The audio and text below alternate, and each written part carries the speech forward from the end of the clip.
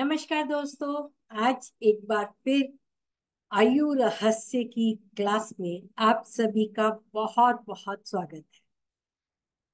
हमने last time ग्रहों द्वारा दिए जाने वाले रोग से कैसे मृत्यु होती है, या क्या कारण बनता है, या क्या मिस्टीरियस आ जाते हैं, उसके बारे में जाना आज मैं आपको पैम पद्धति द्वारा आयु कैसे रहेगी लॉन्ग आयु होगी या नहीं होगी, उसके बारे में जानेंगे। और साथ ही हम मृत्यु ग्रह की दशा, कौन सी दशा है जो मृत्यु दे सकती है? किस ग्रह की दशा में हमें मृत्यु आ सकती है? उसको भी थोड़ा सा जानने की कोशिश करेंगे। ये ईश्वरीय रचना है। हम, क्योंकि इसके अभी जानने के और भी तरीके हैं, मैं बहुत शॉर्ट तरीके बता रही हूँ। इनमें अभी बहुत कुछ है जानना। पूरी तरीके से वीडियो में बताना मुश्किल है। इसके लिए बहुत समय किसी कुंडली के ऊपर लगाना पड़ता है। फिर भी मैं कोशिश करूँगी कि हम कुछ एक उस क्लू तक पहुँच पाए, जिससे कि हम जान सके कौन सा समय मृत्यु तुल्य कष्ट दे सकता है या मृत्यु दे सकता है। तो आते हैं आज मारक भाव पर, जो कि हमने लास्ट टाइम भी थोड़ा सा समझा था कि जन्म लगन से अष्टम भाव आयु का भाव है। दूसरा, सातवां भाव मारक भाव है। तो वो मारक भाव कैसे है? आयु का भाव अष्टम भाव है। अब भावत भावम के अनुसार आयु से आयु का भाव, यानी अष्टम से अष्टम, तीसरा भाव है। ये तीसरा भाव मृत्यु के दशा के लिए बहुत इंपॉर्टेंट हो जाता है, क्योंकि यह भाव द्वितीय भाव से द्वितीय, यानी मारक से मारक भाव है, और तृतीय भाव से दूसरा मारक भाव जो होता है, वो बारवा हो जाता है। अब अष्टम भाव से देखें तो अष्टम से बारवा, सप्तम भाव मारक है, और अष्टम से अष्टम का बारवा द्वितीय भाव मारक भाव है। दूसरा और सातवां मारक भाव, जो कि आयु के भाव से बारवा और आयु की आयु के भाव से बारवा है। यानी ये भावों की दशा, इन भावों की दशा आपके लिए कष्टकारी हो सकती है और मृत्यु ला सकती है, विशेष रूप से तीसरा भाव, क्योंकि वो अष्टम से अष्टम है। अष्टम भाव, ये नवम भाव से बारवा है, यानी जब आपके भाग्य की हानि, पिता की हानि या आपके गुरु या धर्म की हानि या व्यय भाव जो हुआ, उस पे कष्ट आए, तब आप पर कष्ट आता है। ज्योतिषीय विद्वान आयु की पूर्णता का विचार अष्टम भाव से ही करते हैं, क्योंकि मृत्यु केवल आयु की पूर्णता या समाप्ति को दर्शाती है। जब मृत्यु हो जाती है, यानी आपकी आयु पूर्ण हो गई या समाप्त हो गई तो इस प्रकार अष्टम को ही हम आयु का भाव भी माने और मृत्यु का भाव भी। और तीसरा भाव, क्योंकि हमारे प्रयासों का भाव है, शारीरिक बल का भाव है तो ये प्रयास का भाव हमारे बाहुबल भी है। तो जब हमारे बाहुबल की हानि, मारक भाव से, द्वितीय भाव और अष्टम से अष्टम भाव और सप्तम भाव जो कि आयु का व्यय, उससे ये भाग्य आपके मारक की भाग्य का उदय होना। और वहाँ यदि पाप प्रभाव हो और उनकी दशा आ जाए, तीसरे भाव की दशा हमेशा कष्टकारी होती है, क्योंकि ये त्रिश्राया भावों में पहला त्रिश्राया भाव है जो प्रयास का है, जो कष्ट का है और चतुर्थ से सुख से बारवा, सुख का भी व्यय भाव है। तो तीसरा भाव बहुत इंपॉर्टेंट तो जो प्रथम श्रेणी में मारक भाव जो बलि होगा, यानी तीसरा, दूसरा, सातवां और आठवें भाव में से जो भाव अधिक बलि होगा, जिसके ऊपर अधिक पाप ग्रहों का संबंध होगा, जो ग्रह शत्रु राशि में होकर या नीच राशि में होकर अस्त होगा शत्रुओं से पीड़ित होगा, उस भाव की दशा आपको मृत्यु दे सकती और बारवा भाव जो अष्टम से बारवा सप्तम भाव प्रबल मार्केश हो जाता है, जबकि द्वितीय भाव दूसरी श्रेणी का मार्केश है, क्योंकि प्रथम श्रेणी में जो मारक भाव होता है, वो सप्तम भाव का स्वामी हुआ, क्योंकि यह आयु भाव से बारवा है और तृतीय भाव का पूर्व जन्म का कर्म है। तीसरे भाव से ये पंचम है। तो ये प्रबल मार्केश हुआ, यानी आपके पिछले जन्म के कर्मों को जागृत भी करता है। जब तृतीय भाव की दशा आपके प्रयासों की आती है, आपके सुख के व्यय की दशा आती है, या आपकी छोटी यात्रा तो यात्रा में कष्ट अगर होता है दूसरी श्रेणी में दूसरा भाव और कुंडली का बारवा भाव ये तीसरी श्रेणी का आयु के व्यय का भाव क्योंकि यह लगन से बारवा शरीर का व्यय है। तो प्रथम श्रेणी का जो हमारा हुआ मारक भाव वो सप्तम है। दूसरी श्रेणी का मारक भाव द्वितीय है और तीसरी श्रेणी का जो मृत्यु दे सकता है, आयु का व्यय करा सकता है वो बारवा है। तो दूसरा, तीसरा, सातवां, आठवां और बारहवें भाव की दशा के स्वामी, उनकी हमें विवेचना करनी चाहिए। उनकी दशा कितनी कष्टकारी होगी, ये देखने के लिए आपको अन्य वर्गा में भी जाना, जो हम पहले ही कह चुके हैं कि उसके लिए आप उसका चौसठवा नवांश भी देखे बाईसवा देश कौन भी देखे, या देखे वो शत्रु क्षेत्री तो नहीं है, पीड़ित तो नहीं है नवांशा में, द्रेश कौन में, सप्तांशा में, द्वादांशा में और होरा में। ये कुछ महत्वपूर्ण वर्ग चार्ट है, जिनमें अगर ग्रह पीड़ित होता है तो अधिक पीड़ा देता है। कौन अधिक पीड़ा देगा? उनके स्वामियों को देखें और उनकी जाँच करें। जब कुंडली के मारक भाव के स्वामी, मारक भाव का स्वामी, द्वितीय और सप्तमेश इनकी दशा हो और उनका संबंध अन्य बली पाप ग्रहों से अस्त, निर्बली ग्रह या पूर्व ग्रह होकर इन भाव के स्वामियों से संबंध बनाए, तब व्यक्ति की मृत्यु संभव है। हमारे बाकी के नॉर्म्स में बार बार रिपीट नहीं करूँगी, उन्हें देखना आवश्यक है। देखिए, मृत्यु देख रहे हैं, जीवन का अंत देख रहे हैं तो उसके लिए हमें सभी संभावित जो घटनाएँ घटती हैं, क्या वो मृत्यु तुल्य कष्ट दे रही हैं या मृत्यु दे रही हैं, उसकी जाँच हमें बहुत ध्यान से सभी पहलुओं को जानकर ही बतानी। है यहाँ मेष लगन के लिए शुक्र और तुला लगन के लिए मंगल दोनों ही मार्केश यानी प्रबल मार्केश हो जाते हैं। गुरु और शुक्र शुभ ग्रह है।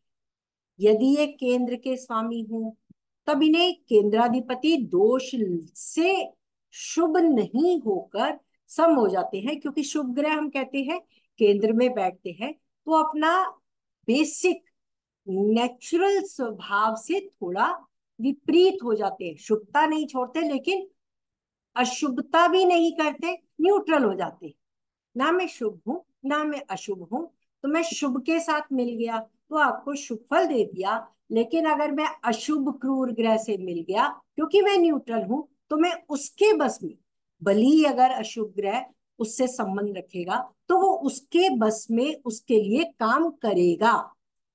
तो इसलिए यह सप्तम भाव के स्वामी भी बलि मार्केश की भूमिका में जब होते हैं तो प्रबल मार्केश बन जाते सप्तमेश और सप्तम भाव से संबंध रखने वाले नैसर्गिक अशुभ ग्रह, जैसे मंगल, शनि, राहु, केतु, यदि निर्बल हो शत्रु राशि में हो, नीच राशि में हो और मार्केश से संबंध में हो, तब मृत्यु प्रदान कर सकते हैं। केंद्र के स्वामी, गुरु या गुरु से संबंध रखने वाले पापी ग्रहों की दशा भी आपको मृत्युकारी कष्ट या मृत्यु दे सकती व्यय भाव व्यय भाव के स्वामियों का मार्केश से संबंध। यहाँ हम मार्केश से संबंध रखने वाले ग्रहों को देखेंगे। और तीन और आठवें भाव के स्वामियों से भी उसका संबंध देखेंगे। शुभ ग्रह नीच राशि में होकर या शत्रु राशि में होकर दूसरे, सातवें, तीसरे और बारहवें भाव में स्थित हो, तब वह मृत्यु दे सकता है। शुभ ग्रह शुक्र, बुध और गुरु। ये अगर दूसरे, सातवें, तीसरे और बारहवें भाव में हो तो ये मृत्यु दे सकते हैं। यदि यह शत्रु क्षेत्र में हो, पापी ग्रह हो, उनके संबंध में हो, या नीच ग्रहों के संबंध में। अष्टमेश तृतीयेश यदि बाईसवें देश कौन और चौसठवें मास का स्वामी होकर मारक भाव से संबंध बनाए तो उसकी दशा में पाप ग्रहों के संबंध की अंतरदशा आ जाए तो भी ये मृत्यु दे सकती। अब आते हैं महर्षि जैमिनी जी के पैम नियम पैम पैम का पूर्ण अर्थ क्या है? पैम, पी यानी पूर्ण आयु जो कि चौसठ से छियानवे वर्ष या इससे ऊपर मानी जाती है। ए, अल्पायु 20 से 22 वर्ष तक की 32 वर्ष सॉरी 20 से 32 वर्ष तक की दशा, आयु और एम, मध्य आयु, बत्तीस से चौसठ वर्ष तक की आयु। अब इसे कैसे जानेंगे? इस पद्धति के हम समूह बनाते हैं, जो कि लघु पराश्री और श्री बीपी गोयल जी ने भी अपनी आयु रहस्य पुस्तक में दिया गया है। जो पूर्ण आयु है, उसे हम चर राशि से देखते हैं। यानी चर राशि के ग्रह पूर्ण आयु प्रदान करते हैं। एक, चार, सात, दस, चर राशियाँ। और स्थिर राशियाँ दो, पाँच, आठ ग्यारह। ये अल्पायु प्रदान करती और द्विस्वभाव राशियाँ तीन, छह, नौ, बारह, ये मध्यायु देती तो पराशी नियमों के अनुसार इनके दो दो कारकों का हम विश्लेषण करेंगे या कहिए, इन्हें हम दो ग्रुप बना देंगे तो उसके लिए मैंने आपके सुविधा के लिए यहाँ एक ग्रुप बनाने की कोशिश की है। पूर्णायु चर राशियाँ अल्पायु, स्थिर राशियाँ मध्य आयु द्विस्वभाव राशि। तो हमारे समूह है कि लग्नेश और अष्टमेश को देखें। ये चर में है, स्थिर में है या द्विस्वभाव है? फिर शनि और चंद्रमा को देखें। सेम किस राशि में गए हैं? चर, स्थिर या द्विस्वभाव। जन्म लगन और चंद्र लगन को देखें। ये किस राशि में है? चर, स्थिर या द्विस्वभाव में। और जन्म हो रहा जब जन्म लगन और जन्म हो रहा लगन, इनके स्वामियों को देखे। ये कहा है? मैं होरा लगन यहाँ पे नहीं बताऊँगी। क्योंकि उसकी कैलकुलेशन में बहुत समय लगेगा। लेकिन फिर भी आपको एक हिंट ज़रूर देंगी। तो अभी हम देखेंगे, पहला और दूसरा नंबर ग्रहों के समूह का है। यानी लग्नेश और अष्टमेश ग्रह लगन का स्वामी, अष्टम का स्वामी। दूसरा समूह भी ग्रह का है, शनि ग्रह चंद्र ग्रह है। इनको देखेंगे, ये किसमें गए? फिर जन्म लगन और चंद्र लगन देखेंगे। ये लगन से देखेंगे, लगन कौन से राशि में स्थित है? लगन कौन सी राशि का है? चंद्र लगन कौन सी राशि का है? ऐसे ही जन्म लगन और होरा लगन। तो जो शनि है, उसे इसलिए लिया है क्योंकि वो आयु कारक है। और चंद्र लगन, ये लगन की मानसिकता और शरीर के लगन को बताता है। आपके मानसिकता के लगन को बनाता है। जन्म लगन, चंद्र लगन के अनुसार आयु निर्णय अक्सर सहायता करता है। इसको कैसे जानेंगे? आइए इसका एक उदाहरण मैं आपको देती हूँ। वही सुशांत सिंह राजपूत का मैं उदाहरण ले रही हूँ। जन्म लगन हमने देखा, यहाँ लगना लॉर्ड मंगल है और अष्टम लॉर्ड भी मंगल है। तो हम मंगल को देखेंगे। मंगल कहाँ स्थित है? मंगल तुला में है। यह चर राशि है। तो हमने देखा यहाँ लगन और अष्टम लगन, मेष और वृश्चिक राशि, मेष राशि चर राशि, वृश्चिक राशि स्थिर राशि तो चर और स्थिर मध्य आयु बताती है। ठीक है? इससे हमने ये निकाला, चर राशि और स्थिर राशि मिलकर मध्य आयु बताती है। अब आते हैं शनि और चंद्रमा पर। तो शनि जिस राशि में विराजमान है, वो देखिए स्थिर राशि है। चंद्रमा कहाँ विराजमान है? स्थिर राशि में। तो अब हम फिर से देखें, स्थिर राशि जो है, वो क्या बताती है? वो अल्पायु बताती है। वो अल्पायु बताती है। सैटन प्लस मून यहाँ स्थिर राशि स्थिर राशि, ये अल्पायु बताती है। अब हम तीसरी जाँच करेंगे, लगन और मूल लगन। लगन है चर राशि, मूल लगन है स्थिर राशि। तो फिर से देखें, चर और स्थिर यहाँ मध्य आयु बताती है। यानी यहाँ अल्प आयु और मध्य आयु का स्थान हमने तीन जगह देखा चेक करके। तो यहाँ चर और स्थिर अल्पायु, इन तीनों में दो बार अल्पायु आया। तो अल्पायु जो थी हमारी, कितने वर्ष की दी गई है? अल्पायु, हमने यहाँ देखा, अल्पायु है 20 से 32 वर्ष। केवल दो वर्ष अधिक, इतना आज की डेट में हम कह सकते हैं, इतना तो ऊपर नीचे होता है। तो सुशांत सिंह राजपूत की डेथ 14 जून 2020 को हुई 1986 का बर्थ है। चौतीसवें वर्ष में इनकी मृत्यु तो हम अल्पायु में इनकी मृत्यु देखते हैं। दशा अनुसार अगर हम देखें तो उस समय दशा सूर्य, शुक्र, राहु राहु की थी, चौदह जून में देखे, सूर्य, शुक्र, राहु राहु और प्राण आयु जो इनकी अंतिम थी, वो प्राण दशा शनि की। शनि अष्टम भाव में है, अचानक का कारक है। राहु लगन में है, जिसके स्वामी मंगल चर राशि है। मंगल यहाँ बैठे हैं, केतु के साथ चर राशि में। अब शुक्र देखें तो वो भी शनि की राशि में है। महादशानाथ उसके साथ बैठे हैं। गुरु भी यहाँ है और बुद्ध भी यहाँ। उस समय ट्रांजिट में 2020 में शनि यहाँ ज़ीरो डिग्री के आए थे, गोचर कर रहे थे। मैं गोचर की बात हम अभी वैसे नहीं करनी चाहिए, किंतु यहाँ प्राण दशा में शनि शनि का अष्टम भाव से संबंध, शनि का महादशानाथ से संबंध और शनि का शुक्र से भी संबंध, जो कि इनकी आयु को बताता है। किंतु ये अंतिम निर्णय हमारा नहीं हो सकता इस पद्धति अनुसार, क्योंकि आगे देखें, अमिताभ बच्चन का चार्ट है। इसको देखें तो लगना लॉर्ड पर एट लॉर्ड लगना लॉर्ड स्थिर राशि और द्विस्वभाव राशि। द्विस्वभाव यानी यहाँ एट लॉर्ड और लगना लॉर्ड शनि और बुध है। यहाँ मैंने गलती से मंगल लिख दिया है। शनि और एट लॉर्ड बुध है, जो बुध यहाँ ड्यूअल साइन में है।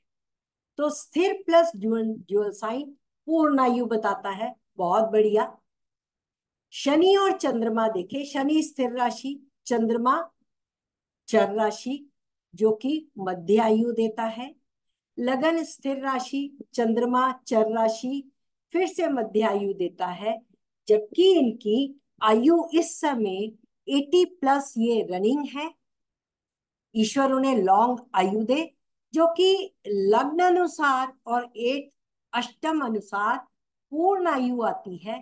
तो यहाँ दो जगह मध्य आयु एक जगह पूर्ण आयु है। होरा लगन हमने नहीं निकाली है होरा लगन के लिए आपको फिर कभी मैं कोई वीडियो बनाऊँगी तो होरा लगन आपको बताऊँगी कैसे निकालते हैं। श्री वीपी गोयल जी की आजकल होरा लगन पे वीडियो आ रही है, आप उसको भी देख सकते हैं और कि होरा कैसे निकालते हैं वो ज़्यादा बेटर होगा। तो उसके अनुसार भी अगर आप देखें तो आपको आयु का एक अंदाज़ा लगता है कि मध्य आयु है, पूर्ण आयु है या अल्पायु है। लेकिन यहाँ अल्पायु नहीं है और ये पूर्ण आयु की ओर जा रहे हैं। एटी प्लस है। ईश्वर इन्हें लंबी उम्र दे और इनकी दशा जो इस समय चल रही है वो ये कहती है कि अभी इनकी आयु अब कष्टकारी यानी थोड़ा रोग से संबंधित आयु हो रही आ, मित्रों जाते जाते आपको याद दिला दूँ आज हमारा आखिरी दिन है रेट्रोग्रेड प्लेनेट के रजिस्ट्रेशन का। अगर आपने अभी तक नहीं कराया है तो आज ही अपना रजिस्ट्रेशन करा ले। आपके लिए ये सुविधा आज के लिए है, ताकि कल से मैं आपको रजिस्ट्रेशन लिंक भेज सकूँ। तो मित्रों, आज के लिए इतना ही। आशा करती हूँ आपसे फिर मुलाकात होगी। आप अपना प्यार बनाए रखिएगा और अपने सुझाव भी बनाए रखिएगा। Please like the channel and subscribe the channel. Thank you so much.